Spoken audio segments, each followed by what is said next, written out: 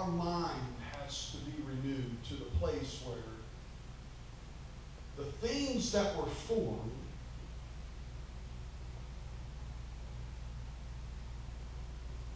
the things that we see, the things that are manifest, we realize they are not going to be made out of something that is visible.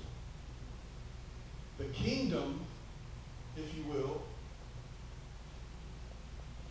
the realm of, of Christ's authority is not a place that is visible to the human eye. Amen. Until faith is activated and the Lord creates that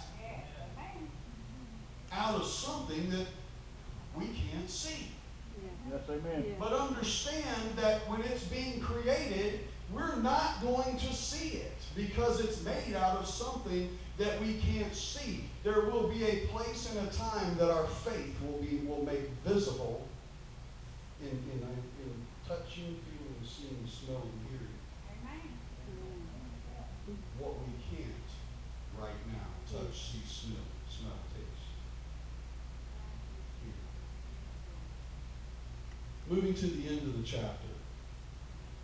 Talked about, you know, the faith of Abraham, the faith of Moses, the faith of the heroes of faith.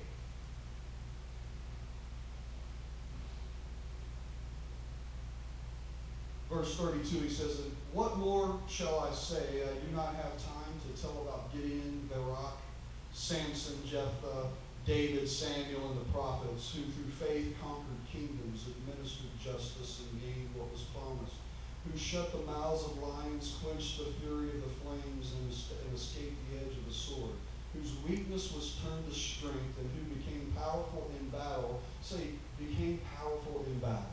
Became Powerful in battle. This phrase struck me when I read this this morning. And I'm not going to stop here, but it, but it, it was significant enough to say this. We are weak.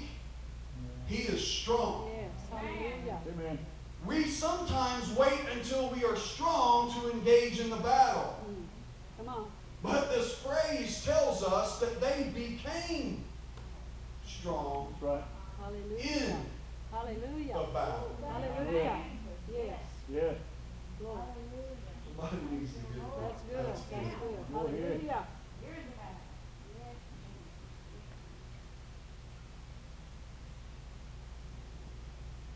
They became strong or powerful in battle and routed foreign armies. Women received back their dead, raised to life again. Others were tortured and refused to be released so that they might gain a better resurrection. Some faced jeers and flogging, while still others were chained and put in prison.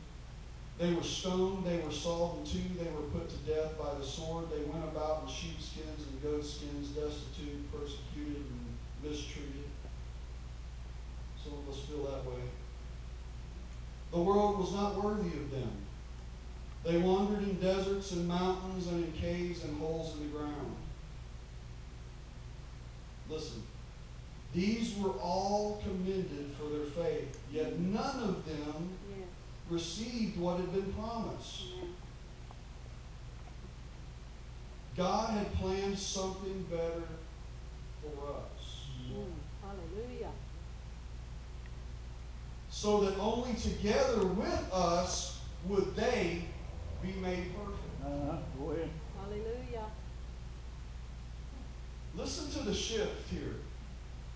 These were all commended for their faith, yet none of them received what had been promised. God had planned something better for us, so that only together with us would they be made perfect. Mm. Mm. We're about to read that something better. What were they talking about? They were. They, he was saying this. We have all of these ancestors, all of this ancient history of miracles and, and faith and mighty acts and, and all of this. We can talk about Abraham, Isaac, Jacob. We can talk about Moses and Samson. You know, go on down the list like they did, but he said, God has something better for us. We are not to model our faith after these men and women of God that I just listed. Right. They are not our model.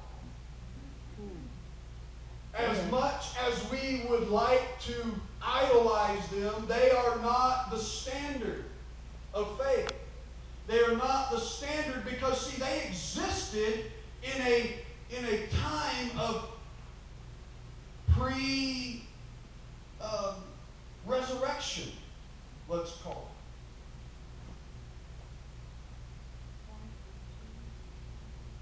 it. Listen to what he says. Therefore, since we are surrounded by such great cloud of witnesses, let us throw off everything that hinders and the sin that so easily entangles, and let us run with perseverance the race marked out for us. Let us fix our eyes on Jesus. You were, you were talking about this over and over. The author and perfecter of our faith. Here's the deal Samson was strong. David was mighty in battle. Gideon took 200, 300 and slew and, and won a battle over thousands. Abraham was called the father of faith. Moses led the children out of Egypt. Joshua led them into Jericho. But Jesus, Hallelujah. He's the one we fix our eyes on. Yes, Yes, yes, yes. Hallelujah. He is the model to which we are to shape our faith. Yes, yes. Turn to Romans chapter 12. I, it, it, it, it's coincidental, I believe, maybe not. From Hebrews 12, 1 and 2 to Romans 12, 1 and 2.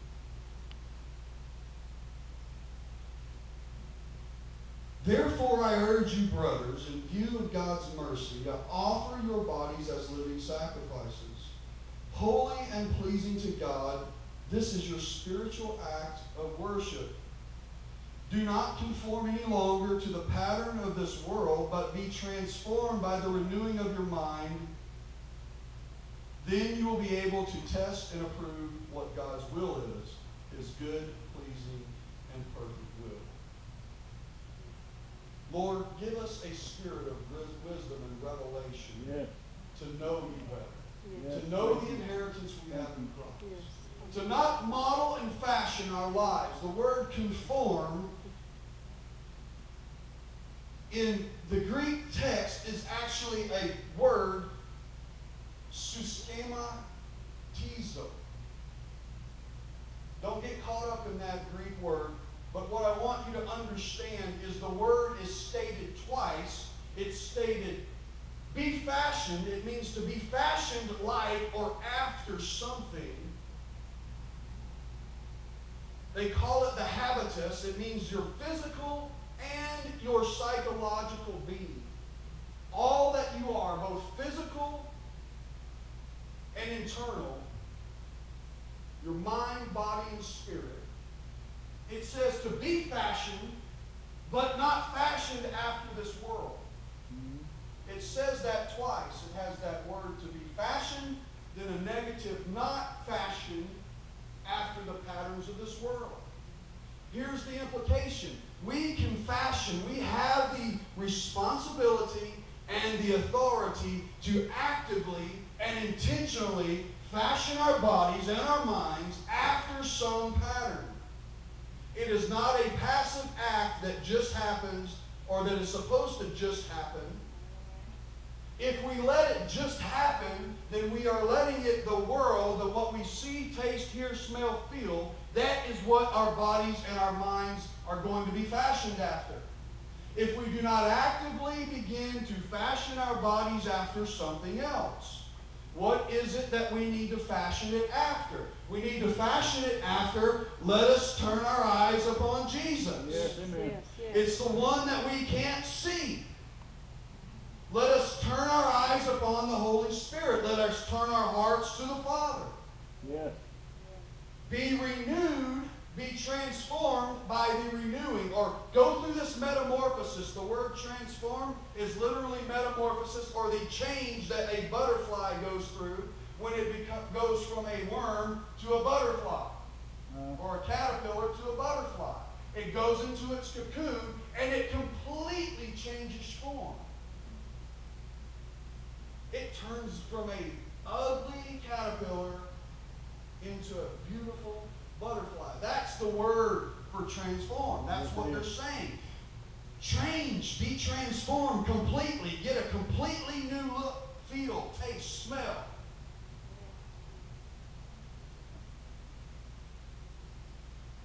By the renewing of your mind. The, the renewing of not your physical mind. You're not going to be able to take your brain out of your skull, put it on a shelf, take another one, and put it back in. The renewing is a renovation, if you will. It's like restoring an old car. You go get this car, it's rusted, beat up, the wheels are flat, tires are flat, the paint's you know, dull if it has any. The body's in dented, deep dented and beat up. The word means to totally and completely renovate. Kind of like you did your church at one point. Give yourself a new wineskin. To hold this understanding in because the place that you're holding it in right now isn't sufficient.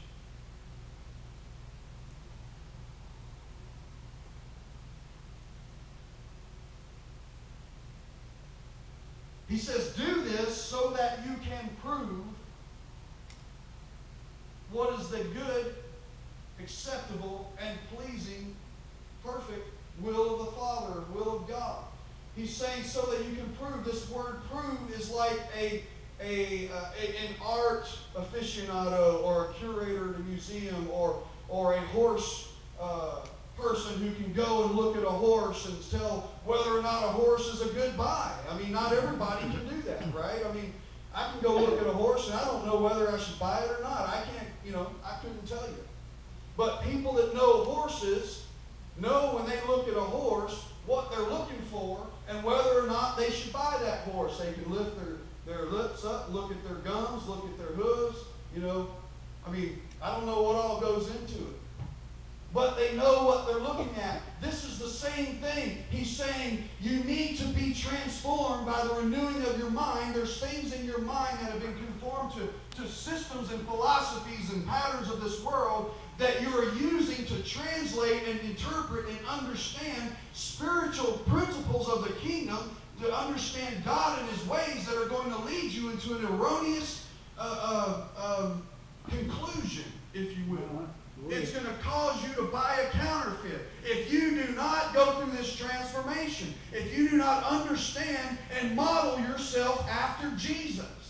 Jesus is the model, not Gideon, not Barak, not anyone, not mama, not daddy, not the pastor, not the guy next door, not the president, not anyone, not the athlete that's making 20 million. It's Jesus. He's the one that we look to, the author and the finisher of our faith. He's already written it and he's already completed the story. And if we'll just look at him turn up our eyes upon him, those things of this earth that distract us, that cloud our, our understanding, that, that jade our perception, those things will disappear and we'll begin to see with clarity the heart and the will of God. And like a treasury agent who's looking for counterfeit bills, we'll know intimately every detail of a $20 bill, of a $100 bill, uh, of a diamond, of, a, of gold, or whatever we will understand it and know it intimately so that when we are presented with something that looks like it, if it is a counterfeit, we can reject it immediately. Hallelujah. Hallelujah. Yes. Yes. Glory. Mm.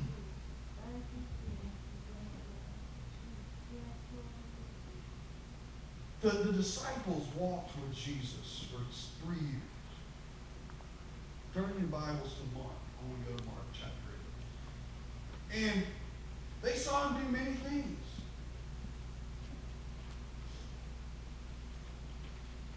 In one case, Brother Johnny, you were talking about he took five loaves and two fishes, or however many it was, and made it into an all-day buffet. Mm-hmm. Well, that's what he's talking about in Mark chapter 8. He took a, he took a little boy's lunch and he turned it into a, a, a buffet to feed 4,000 people. Now explain that to me. Tell me where there's any kind of earthly wisdom or principle or logic that will allow a human being to take five loaves and two fishes to say blessing over it and break it and be able to feed 4,000. Not only that, when they gathered up the pieces, they had more in the end than they had to begin with. Yes, yes. That's that thing that was created with things that we can't see. Hallelujah. Yes, amen. Your mind has to be renewed for that to be logical. Uh-huh. The, there's a pastor that I really like, and he says this that a, the evidence of a renewed mind is when the, the miracles and the supernatural things of God become logical. When it's logical for you to lay hands on someone and to see a nub or, or a leg grow from a nub, for you to go pray for someone that's not breathing and has been dead for three or four days, or it don't matter a year if they're still not, you know, whatever. I guess you can go pray for someone in the grave and the whole the whole uh, cemetery will come up. Um, I mean, I don't think there's any limitation to that. Nothing In fact, I know that's going to happen one day. Yes, it is. Yeah, yeah. So, when those things become logical to your mind, you're on the right track of being having a renewed mind. That's right, amen. Go ahead. It's not logical to our human mind that is skeptical and, and has to has to empirically test everything, you know, go through the scientific method, if you will. And if it can't be proven, you know, and can't be seen, then it can't be real. I was talking to someone the other day, and, and he was saying he was saying something. Well, I can't see it or touch it. I said, Well, uh, you feel that wind coming from that fan, right? Well, yeah. So where where where's it? Where is it? I don't see it. Do you see it? No, I don't see it. So, but it's real, right? Well, yeah. It's a poor example of, of the unseen that we, the thing that we can't see, but knowing that it exists because of us being able to experience it. In Mark chapter 8, I was talking.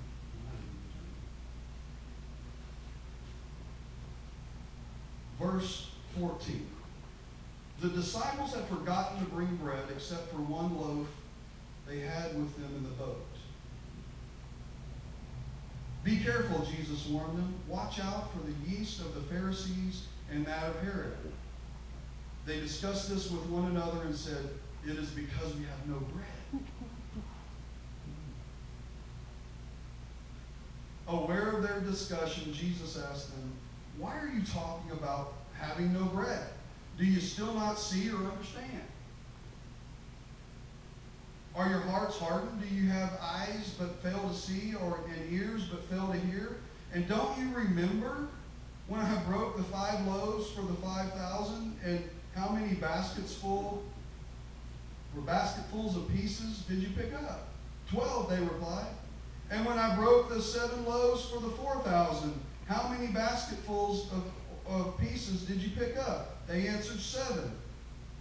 Do you still not understand? No, I don't understand how you do it. What, what he was saying was your mind needs to be renewed because you're going off thinking that, that I'm trying to teach you about something, the, the yeast, just because I say something about yeast of the Pharisees and, and, and of Herod, you're going off thinking that, that I'm rebuking you because you didn't bring enough of the bread. Listen, if I can still break that bread, if I can break it for uh, uh, uh, five loaves for 5,000 or whatever, seven loaves for 7,000, I can surely take one loaf and feed 12 or 13. It doesn't matter. That's not what I'm talking about. And he's using this instance to say, you're, under, you're not understanding me. And that's where we have to get to. That's the renewed mind. We have to get to the place where we understand. That's what that renewing of our mind means. Renewing our understanding, having the heart and the mind of Jesus, walking with Him, knowing Him intimately. Yeah. When we get to that point, we'll be like Jesus. Understand this. Miracles in the church, supernatural events, he says, signs and wonders may follow them that believe. Nope. What? Really? Huh. That was a pretty inclusive, absolute statement. Signs and wonders will or shall follow the believers. I ask myself this why aren't signs and wonders following me? Why aren't they following you? Why is the church so powerless today? And it's because we do not understand Him. That's right, go ahead. We have these things built up in our minds, just like I was ministering to you, Aunt Pat, that the world and that we have taught ourselves that the one of them is that the Father is using, has given me this sickness. Somehow I deserve the sickness that I have, and that's a lie. He doesn't want any of us to be sick. It doesn't bring glory to Him. And when we realize that, then we break free of that lie and we allow ourselves then to press into the healing that He has for us. But when we have, when we buy into these kind of lies and our mind doesn't have the right understanding of the Father, then we're just accepting that we're sick and it causes us to be numb to it and not press into it.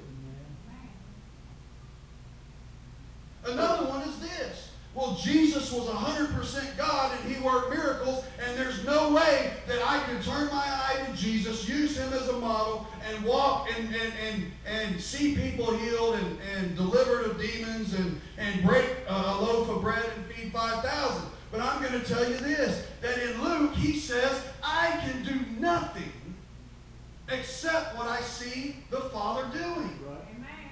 And I can say nothing except what I hear the Father saying in the way He says it. Though He was the Son of God, He constrained Himself to the limitations of a man. Yes, he did. He did not work these miracles as the Son of God. He worked these miracles as the Son of Man, looking to the Father in heaven for his source of faithfulness and goodness.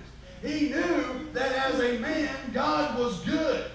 He was good all the time, and when he saw the Father doing something, he knew intimately the Father, and he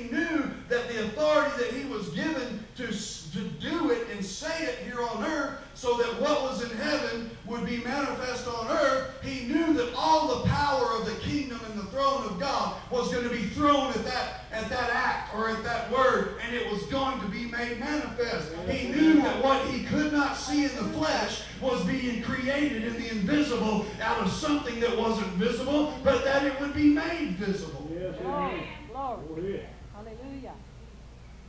Revivals weren't just intended for, for A.A. Allen and, and, and Brother Hall and, and uh, whoever else, all these other great men and women of God. Uh, uh, Aimee Semple McPherson and, and uh, name some more, I don't know. Yeah, Kathryn Kuhlman. The Lord didn't just give them a special anointing. What was happening was is they had a special relationship. They had a special understanding of who the Father was. They pressed in and they knew that they walked in an authority here on earth that was going to be backed by the power of the throne. Yes, Yes. amen. Hallelujah. Same thing we got to do. We are no different. He's no respecter of persons. Yes. Not Hallelujah. at all. Why are we powerless? Because we do not, we've lost the understanding. There are some practical things that we've lost. We've quit uh, uh, uh, modeling ourselves after Christ. We say, yes, He sent out the disciples, and we're going out to disciple, and we're going to tell people about Jesus and the things that He done on the cross. But we forget to tell them before the cross, He healed people, He delivered them from demons, He raised the dead, He, he made the lame walk. Uh, all these things, He made the blind see, He made leprosy fall off. Yes, he did. We teach them about the, the practicalities of, of living a practical Christian life. Loving your neighbor, doing good, giving tithe. But where is teaching about how to feed the multitudes when there's a famine? Amen. That's right, go ahead. Quiet now, Amen. right, Joe. Amen. I've heard uh, over the last several days, I've heard uh, uh, stories and uh, just on like the internet, on, on, on a news state uh, channel on the internet, the Drudge Report. They they have, have different articles where in different places, different occasions, a young uh, like a baby that was in a funeral raised up out of his coffin and started talking. They were about to bury this baby. In another case, this very same thing happened in a different part of the world with a, with an older person. I don't know how old they were, but they weren't a baby. No, They just raised up in their coffin and started talking. Hallelujah. Listen, I- I'm going to tell you that I don't care where you're at, that baby was embalmed. Mm. That other person was embalmed. That means they had no blood. Yeah. Yes, God. Their blood, the life giving fluid in our bodies, was drained from them and it was filled with a chemical that would preserve them. Yeah. Yeah. He turned water to wine, he can turn formaldehyde to blood. Come on. Come on. People were are being raised from the dead. Miracles are happening.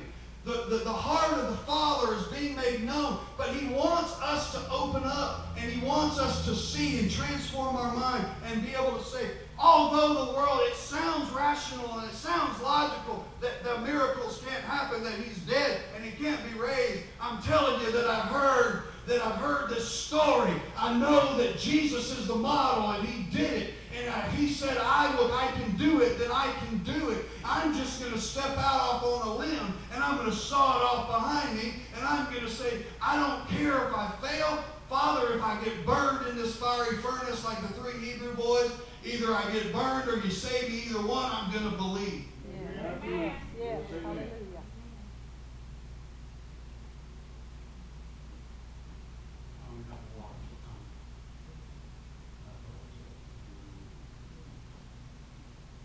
renewing our mind. That's where I've been. That's what I want. I want to see the revival, the real revival. In these last days, the Lord has been dealing with me. He's raising up a generation that will walk in this revelation of Him. Hallelujah. They are setting themselves apart. Let me tell you, it doesn't come playing video games. It doesn't come uh, uh, growing a farm in Farmville. It doesn't come uh, Skyping, you know, or Facebooking all day long. It doesn't come by watching your favorite shows. It doesn't come by, you know, doing what the world does. We're not going to get the heart of the Father if we're doing what the world is doing. I'm not saying they're a sin. I'm saying that if you want the heart of the Father and you want to walk in this anointing and you want to be able to, to know Him intimately and do these things, it, do, it comes with a price, and the price is consecrating ourselves, taking ourselves out of the patterns of this world. I'm not saying condemn it. Like I said, I don't. I, I'm not saying those things are a sin. There are people that will go to heaven and do that. You don't have to walk in this anointing to go to heaven. You have to believe in Him and accept Him and confess with your mouth and believe in your heart. There is a very simple and basic uh, uh, requirement for being saved. But what I'm saying is this. There is a call going out to a nation and a generation of people that He wants you to know Him. He wants us to know Him so intimately that we know His very heartbeat. That every time it beats, we throb. Every time His breath whispers, we hear it. Every time He moves His lips, twitches His finger, we're on top of it. And we're saying, I'm ready, Lord. Send me. Amen.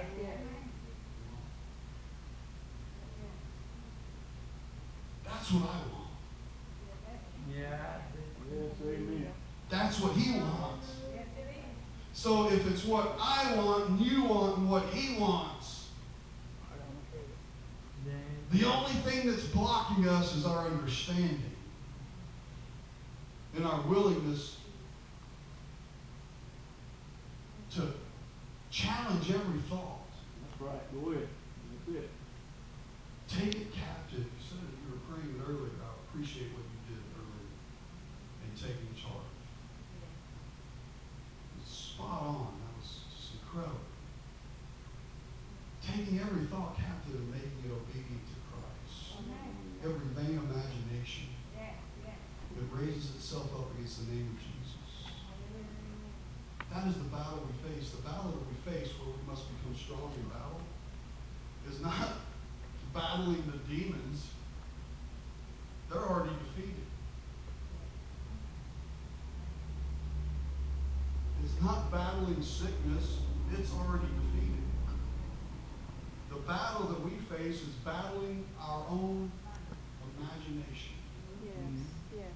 The battlefield of the mind is our greatest battle.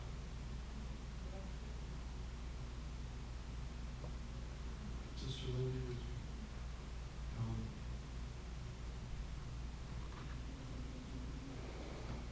Renewing totally, completely renovating what we think,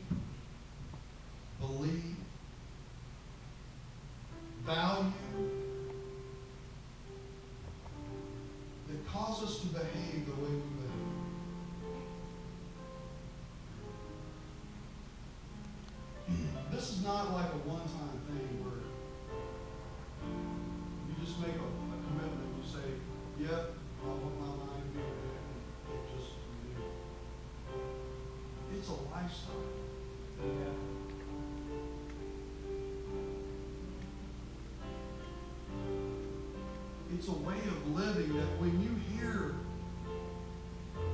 when you say yes, Lord, and you hear it, then you are obedient to it. My wife loves this story. We were told we were, we were listening to a a, uh, a woman tell a story about being obedient, living a kingdom, having a kingdom culture. She was talking about this guy who was radically obedient to everything he heard the Father saying to him or saw him doing. He was in some restaurant at one time. We'll just call it a Ryan's or something like that because it's what seems to stick. But the Father told him to, he, he, he pointed out a guy across the restaurant and he said, Don't nibble on his ear.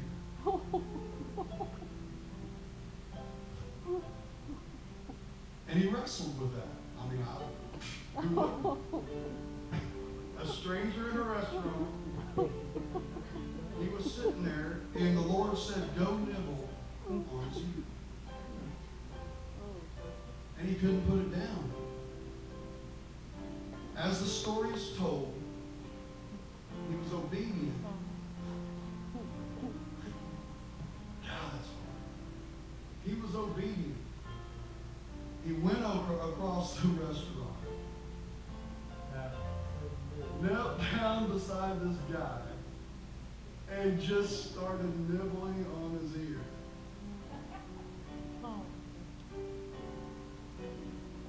The testimony is this. The guy wrote down and he said, Thank you. He said,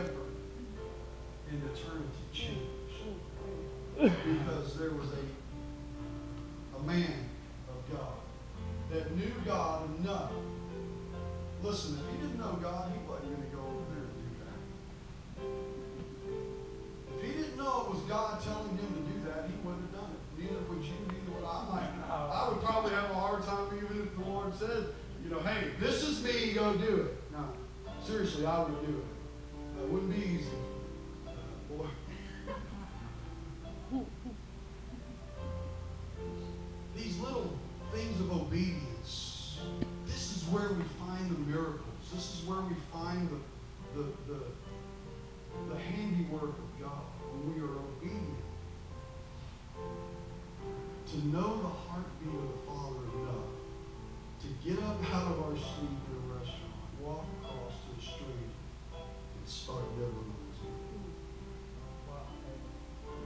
27, you didn't get to that point without doing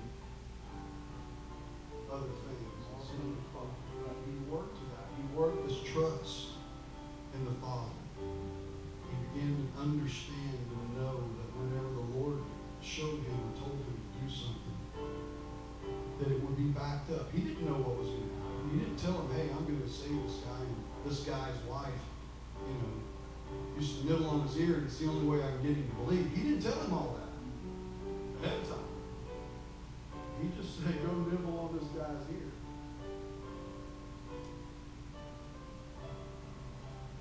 Lord,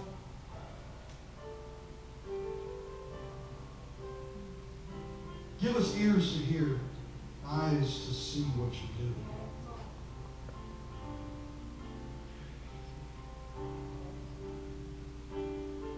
Short circuit our physical and logical minds. To talk to us and show us, we'll be obedient, knowing that you are faithful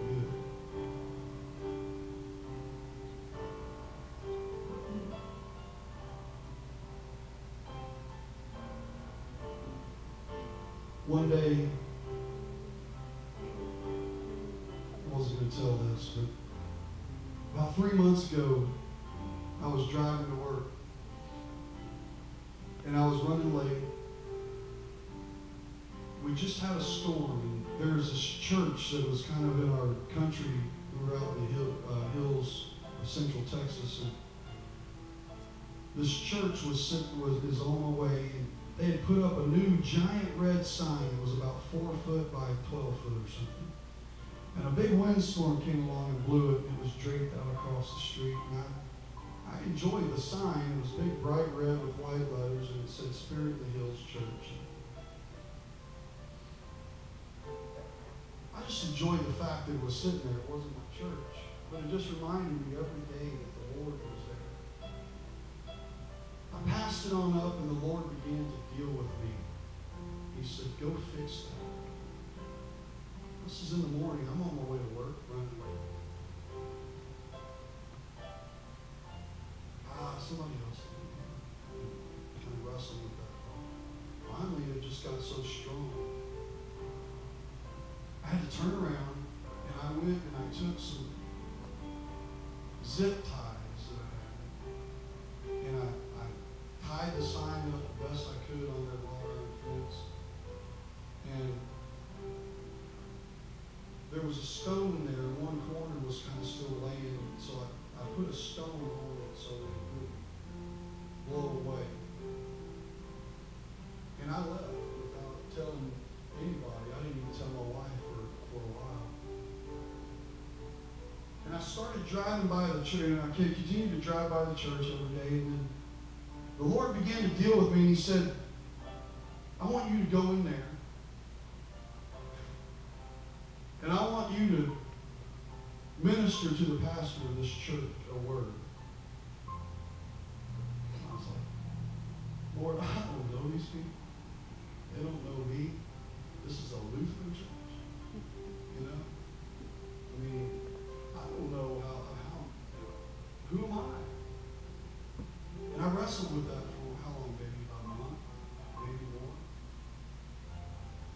Sunday, I couldn't take it anymore. And I went into the church. I was in my shorts and flip-flops and t-shirt and my visor. That's kind of my, who I am during the week and the weekend and my work. And I went in and I sat down at the back of the church and she was preaching. There was a female pastor. And my heart's beating 90 And it gets to a break, and she's actually teaching about giving your testimony no matter what.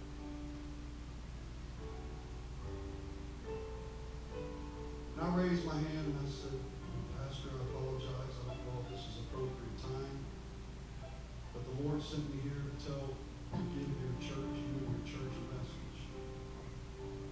To tell you that when your sign was blown down, He put it on someone's heart to fix it. And I left a stone out there on top of it, and He wants me to tell you that it's your Ebenezer stone. That thus far, He hasn't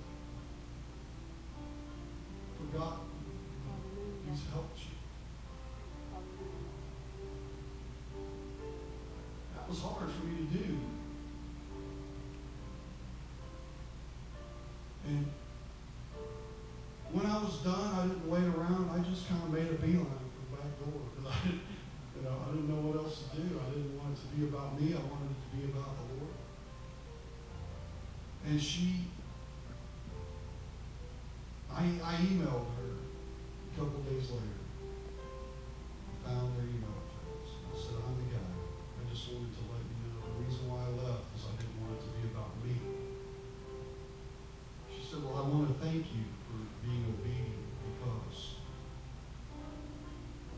Said, I well, in, in, the, in the midst of it, I told them how much the sign meant to me being up there. That it reminded me every day the Lord was present in our community. It was just a blessing. She said, Well, I want to tell you, brother, it was a blessing because there was a lot